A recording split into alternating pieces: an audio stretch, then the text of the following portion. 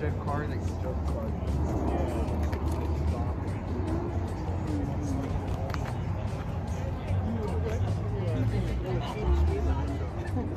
That's plenty. Yeah,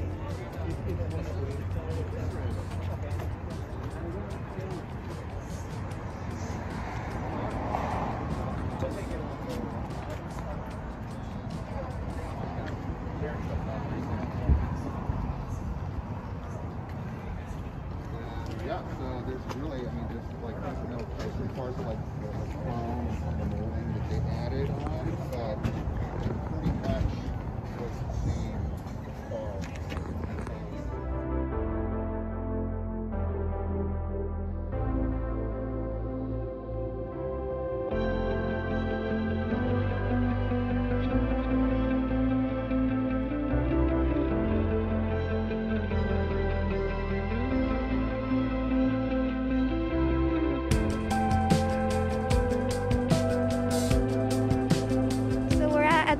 at the shop today, and there's a GT40 here, which is one of his dream cars.